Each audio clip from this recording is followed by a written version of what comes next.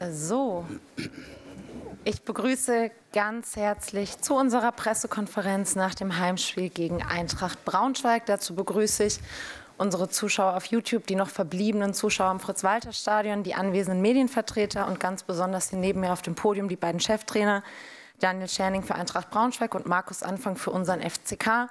Endstand der Partie 3 zu 2 vor 45.615 Zuschauern. Und wie immer gebührt den Gästen das erste Wort. Herr Scherning, Ihre Einschätzung zum Spiel bitte. Ja, Glückwunsch, Markus, Glückwunsch, äh, Lautern. Ich glaube, zum völlig verdienten Sieg. Das muss man so ganz klar auch, auch sagen, auch wenn das Ergebnis hinten raus sicherlich ein bisschen knapp war.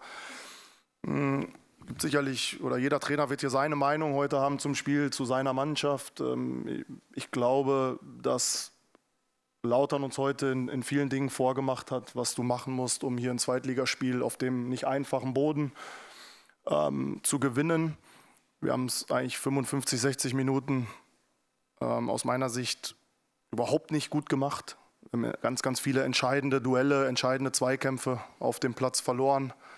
Wir haben unsere Box, unser Tor nicht so geschützt wie die letzten Wochen. Wir haben ähm, uns bei zweiten Bällen relativ einfach abkochen lassen. Wir haben nicht sauber geschlossen, wenn wir überspielt wurden. Ähm, und ich glaube, dass, ja, dass das 2-0 völlig in Ordnung geht. Äh, vielleicht sogar noch ein Tor bis dahin zu wenig war. Wir kommen durch den Elfmeter, haben wir gerade drüber gesprochen, auch vielleicht ein kleines Geschenk für uns vom Schiedsrichter wieder rein.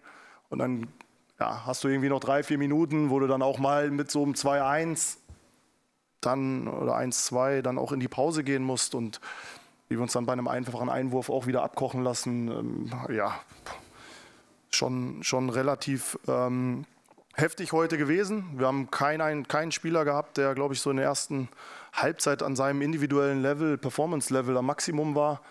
Äh, ich habe mich dafür entschieden, zweimal in der letzten Linie zu tauschen, aber auch nur nicht mehr gemacht, weil unsere Optionen auf der Bank bei der langen Verletztenliste dann auch ähm, sehr limitiert heute waren. Und ja, die letzte halbe Stunde dann ähm, auch wieder mit ein bisschen Glück, dass es nicht 4-1 steht, äh, kommen wir wieder rein ins Spiel, haben dann kurz vor Schluss das 3-2 und natürlich kann es dann sein, dass du nochmal irgendwie ein 3-3 über eine Standard oder was auch immer kommst, aber wenn wir ehrlich sind, wäre es heute einfach auch nicht verdient gewesen. Und ähm, dementsprechend sind wir über unsere Leistung ähm, sehr enttäuscht, weil die letzten Wochen das einfach nicht hergegeben haben und wir gezeigt haben, dass wir deutlich aktiver und besser Fußball spielen können. Danke. Vielen Dank, Markus. Wie hast du das Spiel gesehen? Ja, hallo zusammen. Erstmal danke für die Glückwünsche. Ja, wir, wir wussten, es wird äh, ein sehr schweres Spiel für uns äh, gegen eine Mannschaft, die in den letzten Wochen noch immer wieder gezeigt hat, wie, wie kompakt und wie gut sie verteidigen können und dann auch vor allen Dingen umschalten können. Das hat man auch glaube ich, schon andeutungsweise in der ersten Halbzeit gesehen, dass sie immer wieder die Qualität haben und auch das Tempo haben, dann ähm, in Umschaltmomente reinzukommen. Ich finde trotzdem, dass wir ein richtig gutes Spiel gemacht haben, 60, 65 Minuten lang. Wir haben, wir haben uns viele Chancen herausgearbeitet. Ich glaube, Dai hatte schon nach 20 Minuten zwei richtig große Chancen. Ragnar kann, glaube ich, in der ersten Halbzeit noch ein Tor machen. In der zweiten Halbzeit kann er auch, glaube ich, ähm, den Ball noch, den Ball glaube ich auch noch, auch noch verwerten. Dann haben wir einmal mit einer Standardsituation am zweiten Pfosten. Ja, heute muss man einfach auch dann, dann sagen, ähm, wir haben 60 Minuten, 65 Minuten ein richtig gutes Spiel gemacht, waren, glaube ich, auch in allen Bereichen, so wie mein Kollege das gesagt hat, die, die bessere Mannschaft.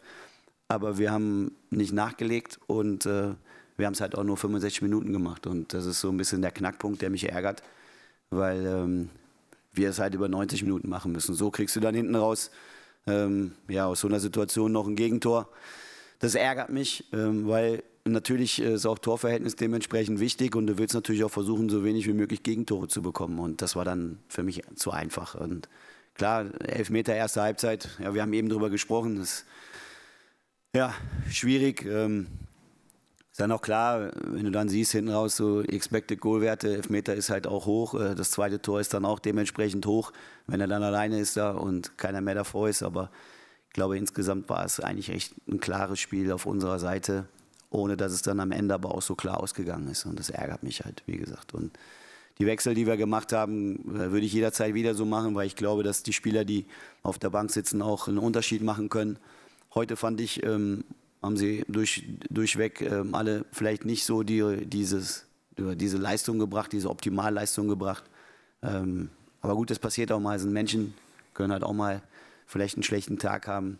Ich hoffe, dass wir jetzt eine, eine gute Trainingswoche hinlegen, um dann am Freitag ähm, ein Spiel über 90, 95 Minuten so zu machen, wie wir das die ersten 60, 65 gemacht haben.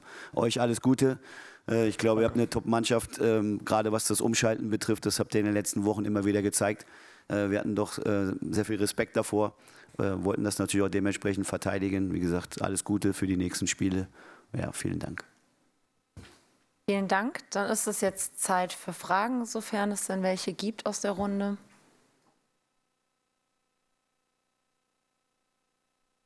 Das sieht nicht so aus. Dann bedanke ich mich für die Aufmerksamkeit, wünsche unseren Gästen aus Braunschweig eine gute Heimreise und allen noch einen schönen Sonntag.